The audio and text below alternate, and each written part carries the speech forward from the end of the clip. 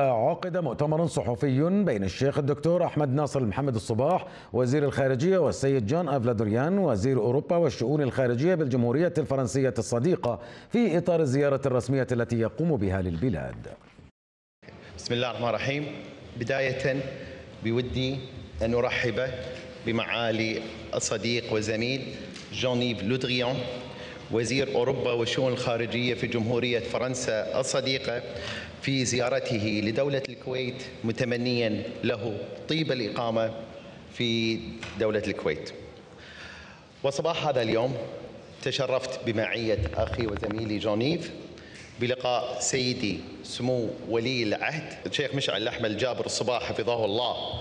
ورعاه نيابة عن سيدي سمو أمير البلاد الشيخ نواف الأحمد الجابر الصباح وأكد سيدي سمو ولي العهد على المتانة الكبيرة التي توليها الكويت لجمهورية فرنسا والحرص الكبير لدى البلدين في تنميتها هذه العلاقة المميزة في كافة الأصعدة وعلى مختلف المجالات.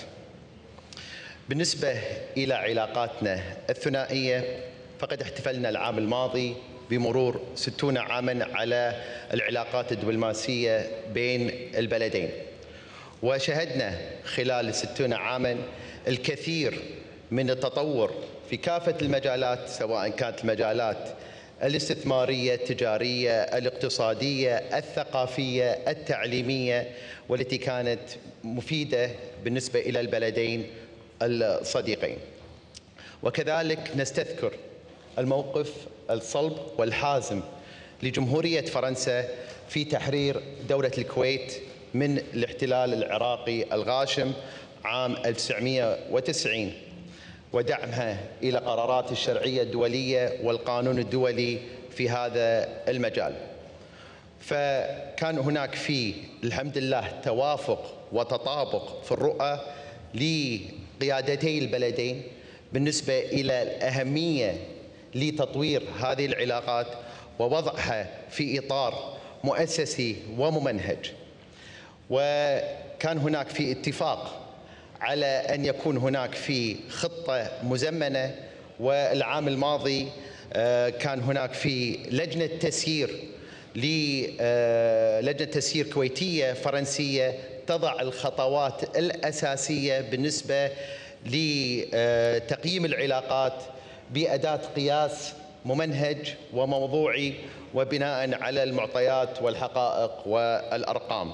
فالجوانب عديدة ومتشعبة بالنسبة إلى العلاقات الثنائية. ونرى في الزيارات المتعددة لأخي وصديقي جون إيف إلى الكويت الأهمية كذلك للجمهورية الفرنسية بتطوير علاقاتها ودعمها لقضايا الكويت.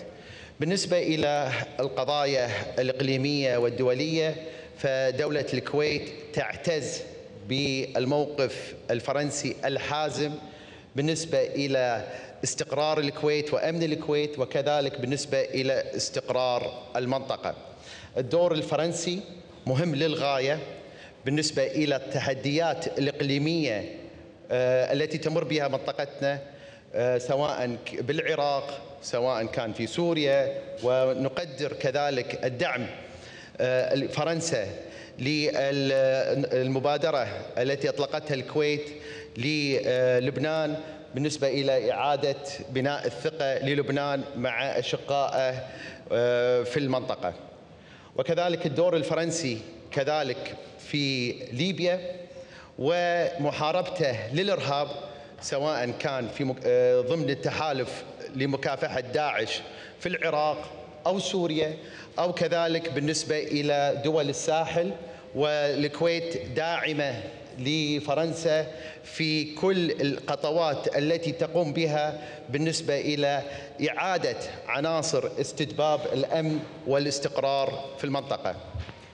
كذلك لا يفوتني في هذا الصدد الدور الهام لفرنسا بالنسبة إلى القضية الفلسطينية ودعم فرنسا لأشقائنا في فلسطين بأن يكون لهم آه، دولة على حدود آه، الرابع من يونيو 1967 وحل الدولتين.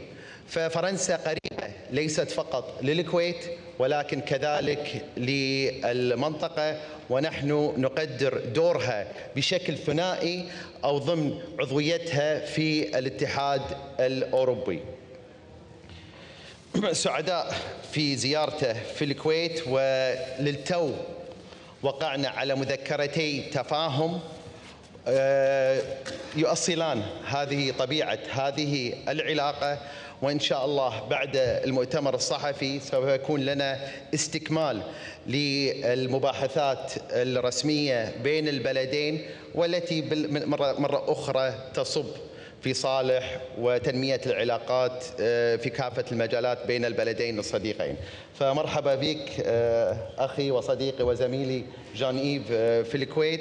وإن شاء الله نتطلع أن يكون لك زيارات أكثر في كل فصل في من فصول السنة في الكويت. شكرا. Merci, merci cher Ahmad. Mesdames et messieurs, je suis euh, très heureux de revenir euh, au Koweït. Un peu moins de, de deux ans après ma dernière visite qui était intervenue en juillet 2020. Je reviens dans un contexte mémoriel particulier puisque nous célébrons فترة متميزة لأن كما قال أحمد نحن نحتفل هذا العام بستين عاما من العلاقات الدبلوماسية والصداقة بين بلدينا وهذه قصة جميلة وأود أن أعبر عن ارتياحي للمناقشات الممتازة التي أجريناها هذا الصباح مع صاحب السمو ولي العهد وعلاقتي الممتازة منذ عدة شهور مع صديقي معالي وزير الخارجية أحمد. ومعا أعدنا التأكيد على تصميمنا على الاستمرار في العمل بالتنسيق الوثيق لخدمة سلام وأمن المنطقة. خاصة اليوم في ظل الحرب في أوكرانيا وأثار هذه الحرب تظهر في أوروبا وكذلك في منطقة الشرق الأوسط وأفريقيا والتي تنعكس أثارها على التوازنات الدولية. فرنسا مصممة آه، على التنسيق مع شركائها وأصدقائها في منطقة الخليج آه، حول كل هذه المواضيع وكل انعكاسات هذه الحرب ولقد آه، ركزت على استعدادنا لمواصلة جهودنا لدعم أوكرانيا ولممارسة أقصى قدر من الضغط على روسيا. وأتمنى أن نتمكن أيضا على الصعيد الدولي من التوصل إلى جواب منسق لاحتواء انعكاسات هذه الأزمة على الأمن الغذائي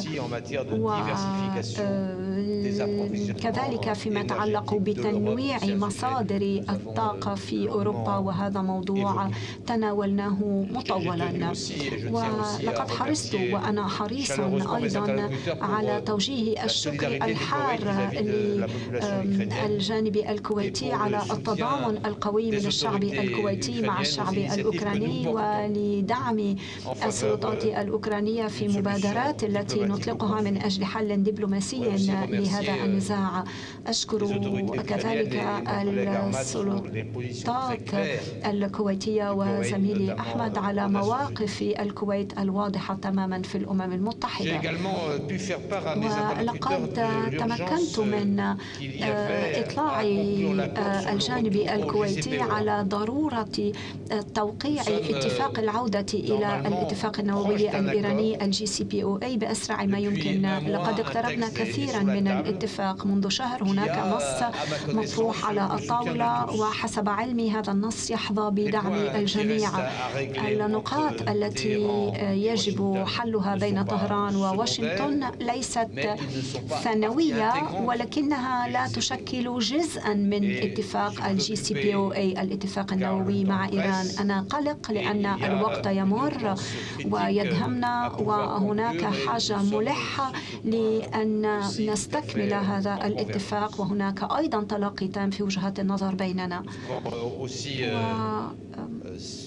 أود أن أنوه أو ذكرنا معا بحرصنا على الأمن والاستقرار الإقليمي ولقد حييت وأحيي هنا أمامكم تقاليد الكويت في الوساطة هذه الوساطة الكويتية أداة قيمة ومقدرة من الجميع وخاصة في المنطقة وكما قلت كررنا عن إرادتنا المشتركة لإيجاد السبل ليخرج لبنان من أزمته الحالية وإن إعادة الوضع إلى طبيعته يمر قبل كل شيء عن طريق تبني السلطات اللبنانية للإصلاحات الضرورية والمطلوبة التي يحتاج لها الشعب اللبناني. فرنسا والكويت قد جندتا قواهما لتقديم دعم مباشر للشعب اللبناني وخاصة بعد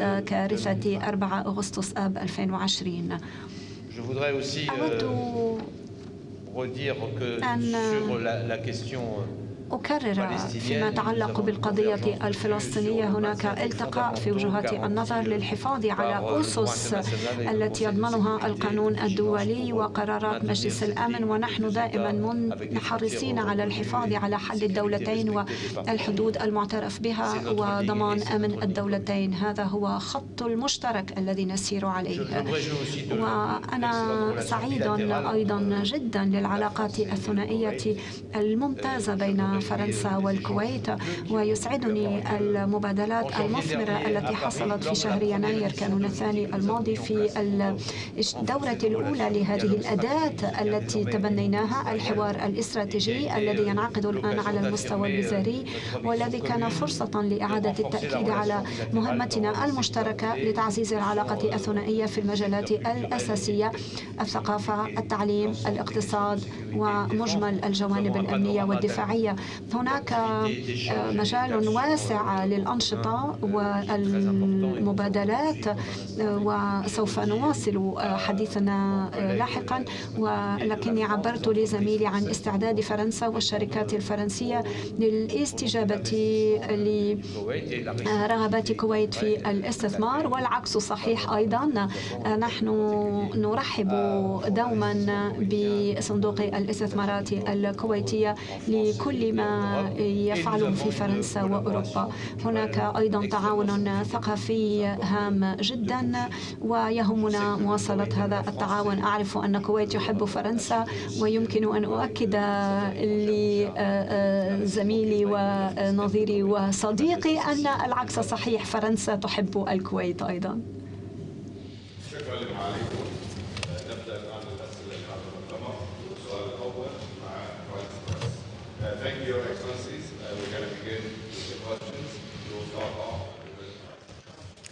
مساء الخير سيد لودغيان سليمة لوبل من Agence France Presse سيد الوزير هل بحثتم مع المسؤولين هل بحثتم مع المسؤولين في الكويت خلال الزيارة اليوم زيادة إنتاج الكويت للنفط وماذا كان الرد وماذا عن الاتفاق النووي الإيراني؟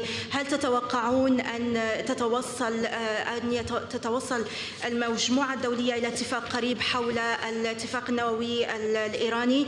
السيد شيخ أحمد فيما يخص الملف النووي الإيراني إذا ما حصل الاتفاق وتم التوقيع على الاتفاق النووي مع إيران هل دول الخليج والكويت مستعد مستعدة لحوار لفتح حوار مباشر مع دول مع إيران بشأن الموضوعات الخلافية euh, فيما يتعلق بالنفط. D'abord أولا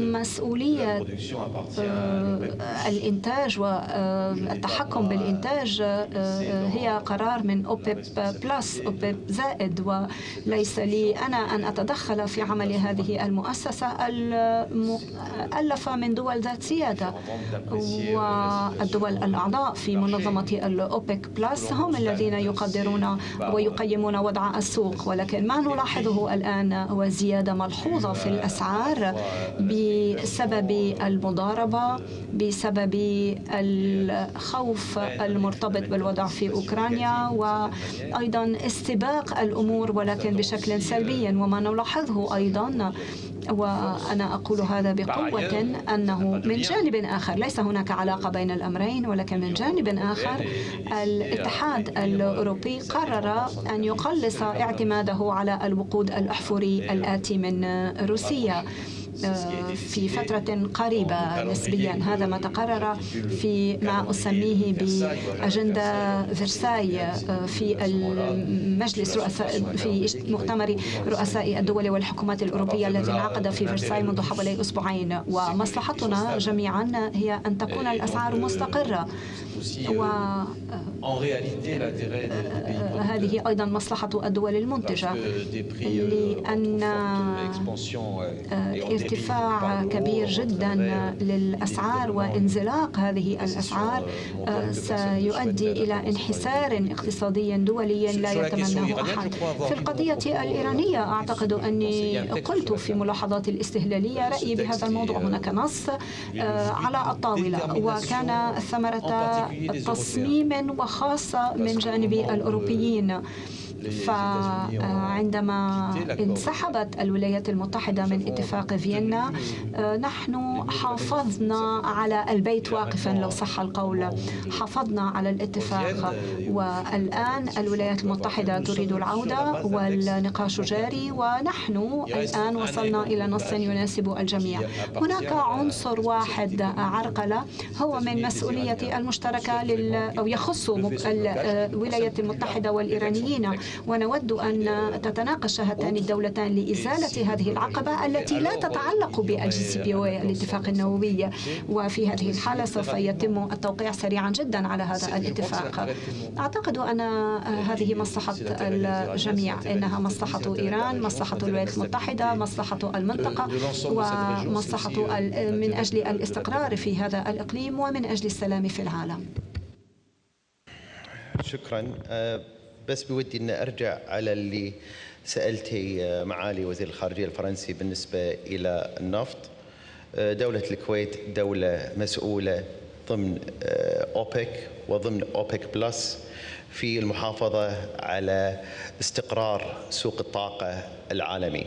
وننسق بشكل تام مع كافة الأصدقاء والأشقاء والحلفاء في هذا المجال حيث أن استقرار سوق الطاقة العالمي من مصلحة الجميع من مصلحة الدول المصدرة وكذلك من الدول المستفيدة. أه، بالنسبة إلى الاتفاق النووي هناك في هواجس كويتية وخليجية وذكرت هذه الهواجس في القمم الخليجية وفي البيانات في الاجتماعات الوزارية ونحن ننقلها بشكل واضح إلى آه، حلفائنا وأصدقائنا جميع المعنيين في إتمام هذا الملف ونتمنى أن يراعى آه، مثل هذه الهواجس لدول المنطقة ودول مجلس التعاون. السلام عليكم ورحمة الله. شوقي محمود من جريده السياسة. تطرقتم في الإيجاز عن لبنان وما يشهده من تطورات إيجابية خلال الفترة الماضية من خلال لقاء معالي الشيخ الدكتور أحمد الناصر مع دولة رئيس مجلس الوزراء اللبناني في الدوحة. هل هناك من تطورات وقبول المبادرة التي ذكرتم منها مبادرة كويتية خليجية أوروبية عالمية؟ هل استجابة من قبل لبنان؟ شكرا عليكم. شكرا أه لبنان وعودة لبنان مرة أخرى إلى رونقه إلى تألقه وإعادة العلاقات للبنان مع محيطه الإقليمي والخليجي.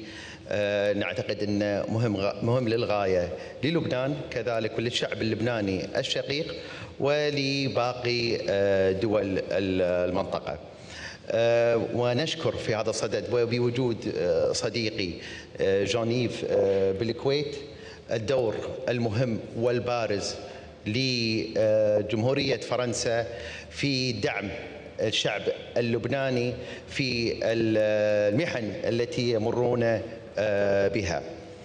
المبادرة أو الورقة الكويتية كإجراءات لبناء الثقة مجددا للبنان حمل حملتها الكويت ولكن هي بالأساس خليجية وعربية ودولية ومرجعياتها واضحة ولا أعتقد أنه يعني يحتاج أن أنا أكرر عليها قرارات الشرعية الدولية اتفاق الطائف يعني الأساس آه، فيها. أول تجاوب لبناني كان بعد ما نقلناها ببضعة أيام كان آه، في الكويت وفي الاجتماع الوزاري في 30 يناير آه، بالكويت وقدموا إجابة لها. ومجرد يعني أن يقدم لبنان رد على هذه النقاط فهذا بحد ذاته آه، جدية من المسؤولين اللبنانيين في هذا المجال.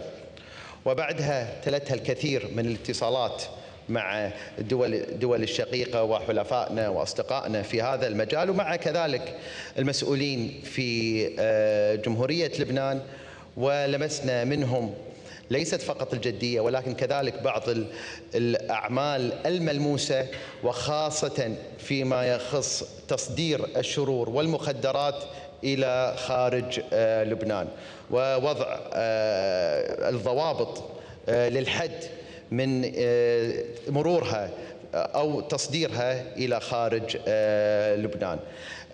وكذلك كان هناك في بيان ترحيبي من المملكة العربية السعودية ثلاثة بيان من الكويت وكذلك كان هناك في لقاء لسمو أمير قطر في هذا المجال.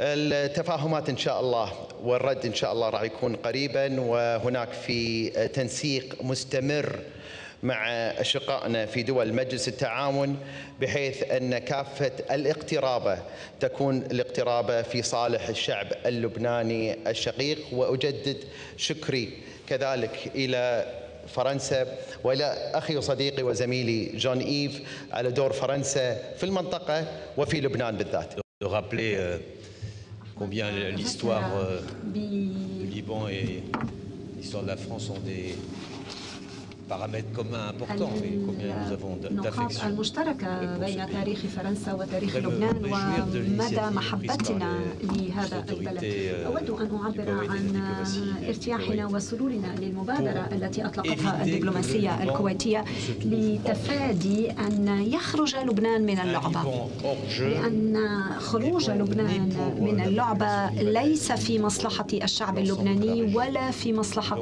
المنطقة وبالتالي كان كان من الأهمية بمكان أن تتخذ مبادرات لإخراج هذا البلد من هذا الانغلاق الذي وجد نفسه فيه والذي وضع نفسه فيه. وأن تكون هناك يقظة للفعاليات الرئيسية ولنضعهم أمام مسؤولياتهم. الكويت قدم مبادرة ندعمها بالكامل ونأمل أن يكون الرد اللبناني على مستوى قوة هذه المبادرة بما في ذلك بدعم من أعضاء الدول الأعضاء في مجلس التعاون الخليجي ومن هذا المنطلق إن موعد الانتخابي في 15 مايو أيار سوف يكون مرحلة هامة جدا لفترة طويلة.